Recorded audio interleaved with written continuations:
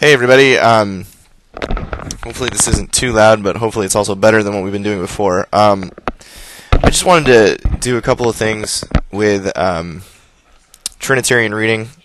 The first thing I would like to do is, if you have not watched the micro lecture on Mark, please do so.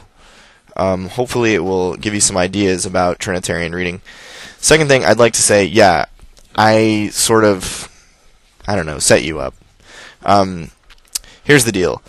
Uh, in the Christian tradition, up until really maybe the 17, 1800s, so for the first, you know, 15, 1600 years of the church, uh, w- interpretation of scripture was something was called pre-critical, or we call it pre-critical now.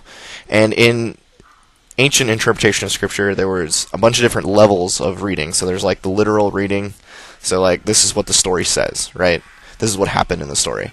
Uh, then there were things like uh, figurative, re- figurative reading, um, moral reading, like you read in order to find the uh, the ethical lesson of the text. There was also uh, typological reading. So if you were reading in the Old Testament, you would look for types of Christ, really. So you'd you'd um, would be an example? Um, oh, like Adam would be a type of Christ, right? So uh, the things that happened to Adam are prefiguring; they're showing ultimately what uh, Christ will do uh, later on. And so Irenaeus, for example, talks a lot about recapitulation. So what the, Adam is, you know, the is the first Adam. Uh, Irenaeus uses Paul's language here, and in the first Adam, this, this, this, and this happened. In the second Adam, this, this, this, and this happened. Uh, recapitulating, going back and and fulfilling in himself the types of things that happened in the first Adam, but uh, now doing it um, as a divine human person and summing up in human life uh, what was lacking or what uh, failed the first time around. So that would be like typological reading.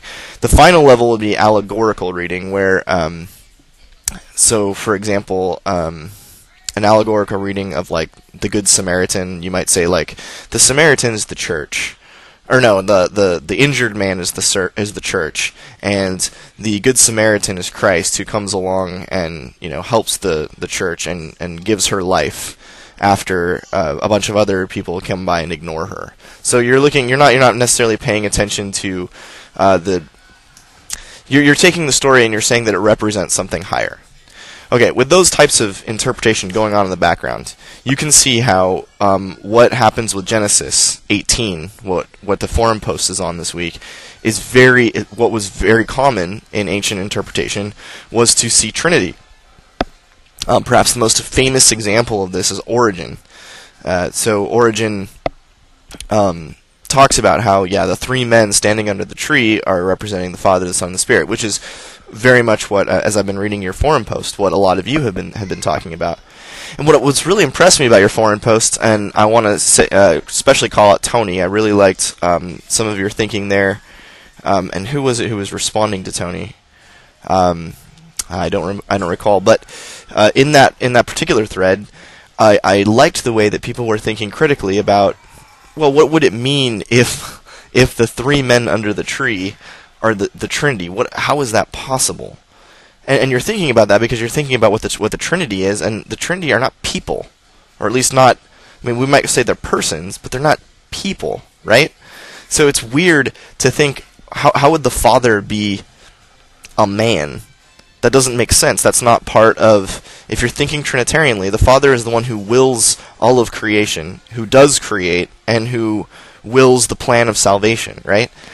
God's somehow removed, the Father is somehow removed or outside of uh, the creation, such that when we do have theophanies in the Old Testament, theophany is when uh, God, uh, an appearance of God in the Old Testament, they're always very strange, right? It's like, you know, Moses sees a bush that's on fire, and then Moses is like, afterwards, Moses is like, yeah, that was God in the fire, right?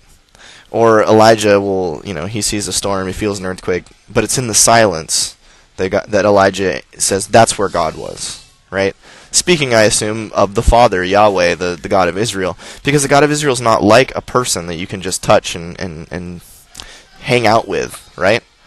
Uh, which brings up the question of what's going on with Adam and Eve in the garden. The point is, is that uh, it's very strange if you're thinking in terms of the Trinity to think about the Trinity, uh, the Father and the Spirit, especially being people. Moreover, it's weird to think about the second person of the Trinity being a person uh, in the Old Testament, right? And one of you brought this out. It's like Jesus hasn't been born yet. The Son's not a human being the way that we think about human beings, right? Something else is going on there. It's uh, it's hard to, you know, put our finger exactly on what it is. Uh, so if you you should you should check out. I'll, try and find a link to um, the section on Origen where he talks about uh, this particular passage, just for your you know edification. You can see what one of the great um, interpreters of the of the scriptures uh, in the church tradition said. Um, and it's very interesting because he, he tries to nuance things. He's like, this isn't. It's not like the Father and the Son and the Spirit are hanging out underneath a tree, right? Uh, rather, this is demonstrating, and he says, I think, the economy of the Trinity.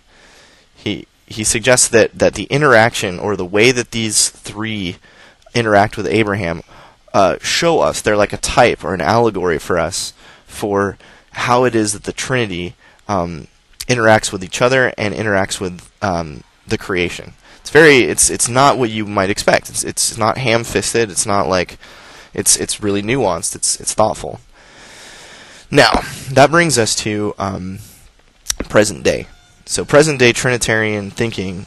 Um, you'll still see, you'll hear a lot in pulpits, especially in evangelical um, and many Pentecostal charismatic churches. Where, so for example, in uh, Daniel, right, there's the story where um, Shadrach, Meshach, and Abednego are in the the furnace of flames, right, and everyone's looking, and they see someone else with them, and very often people will say, "Oh, that's Jesus," right? Uh, that's a very common type of uh, interpretation of that text.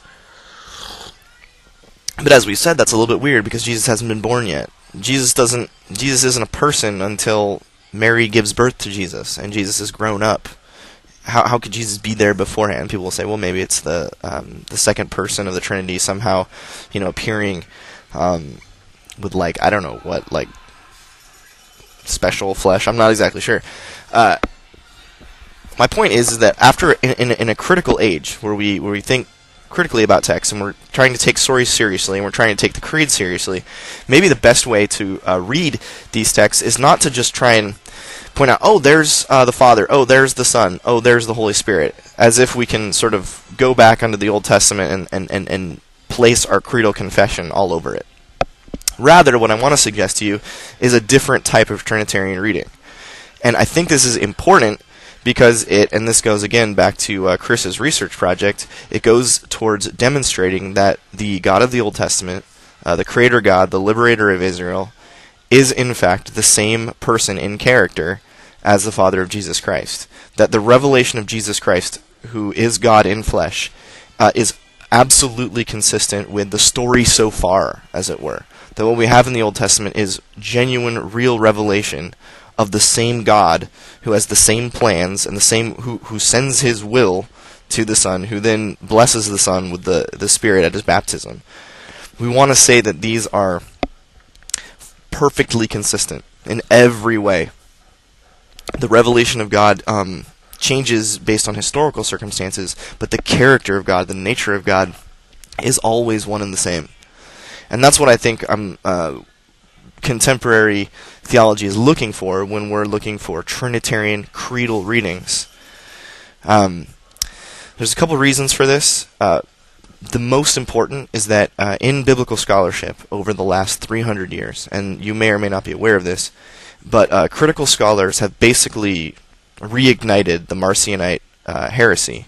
Marcion was an, uh, a Gnostic in the early church who basically said, yeah, the Father of Jesus Christ, that's not God. Uh, the Old Testament, that's a bunch of lies. Uh, just look at it. Look at it, right, guys? I mean, there, there, there's nothing that this God is doing that's in any way similar to what Jesus is talking about loving your enemies. This God's just murdering them, right? And the church fathers expelled him for heresy, said, no, you're just not getting it. And one of the ways they tried to demonstrate that he was wrong was by doing allegorical, typological, figurative readings. Um, in contemporary biblical studies, they, they reignited the Marcionite heresy. They they did critical work in the Old Testament, and they basically said, "Dude, first, we don't do allegorical, typological, figurative. That's not how you read text. We read uh, the plain sense. You might have heard this. Uh, we read literally. we read um, we get the author's intent. Sometimes you'll hear. Uh, if you're reading these ways, then you can't just look at the three guys underneath the tree and say, "Oh, Father, Son, Spirit." Instead, you have to read as if this is something else. Um, and if you do that over time, you begin to see that uh, it's very, very possible to posit that the God of the Old Testament is very, very different in character and nature than the God of the New Testament. Um, and so Trinitarian creedal reading is an attempt now in the present day to take seriously the economy of the Trinity, the relationship between Father, Son, Spirit eternally as they interact with each other and as they demonstrate their actions to the to the, to the world. Um, and by doing that, we begin to see at a very deep level that what you have in Jesus is indeed the um, is indeed the character and nature of God the Father. Th- thank you. My daughter just gave me my wife's water. Fantastic. Um, so here's the thing. Uh, I love your forum posts, and there's no way that I would in any way ding any of you for anything that you're doing. I think it's great, and I love that uh, you're doing um, Trinitarian readings and, and whatnot, and maybe even locating a theophany where the Trinity appears in the Old Testament. I think that's wonderful stuff, and I don't want to knock it at all. Uh, I think it's valuable and helpful for your churches. At the same time, I think there's another level that I'd like to push you to, and you don't have to do it this week, and or maybe you do. It's it's totally up to you. Uh, you know, you get what you put in. But I would love you, I love it if you begin to think about in what way is the character of the triune God being demonstrated in this text.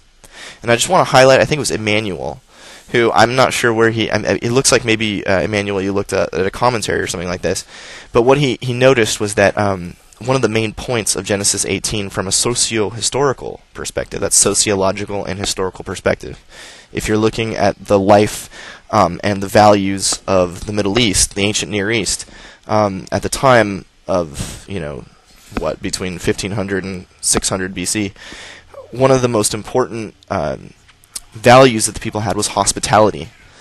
And that in, in this uh, in this text, in this story, we see Abraham being um, genuinely hospitable. Well, I was wondering if uh, maybe Emmanuel would take that next level and say, hey, in what respect is the Trinity itself um, an eternal example of hospitality? In what way does um, uh, the Father, by sending the Son and the Spirit to the world demonstrate his what eternal welcome to a people who are far off, who in some ways are his enemies. Right? Maybe it's the case that because God is in some way present with these three men, um, maybe Abraham's uh, welcome to them is a demonstration of the divine character. Maybe the way that uh, the divine character um, comes to this earth and we as human beings are invited to participate in divine life. Maybe that's what Abraham's doing. Um, and reading that way is looking at the what the character of God in in God's triune self, with God's various um, uh, natures and essences and whatnot, attributes, and seeing the way that those things play out in texts. Now that's a I want to I want to suggest to you that that's a very it's like a it's a back and forth kind of dialectical way of reading scripture because on the one hand we're learning about who God is and what the character of the triune God is by reading the texts, right? We don't know God apart from these texts. At the same time, then once we've decided maybe God is like this, we're looking for that character and that nature and that attribute to be exemplified in the texts. Um, so that's just a little uh, brief uh, take on Trinitarian reading. I hope that the background noise isn't too crazy. Hope the mic didn't pick up too much of my daughter yelling. Um, wow, that's what that is.